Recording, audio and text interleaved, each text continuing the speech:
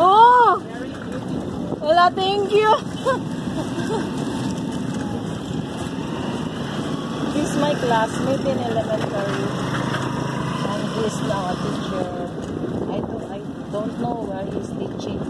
I thought in element in central also, but I don't know what grade he is teaching. He's very smart. He's a gay. Everybody's a gay. Yeah, she told me, oh, yeah, you are so beautiful. Said, Well, huh?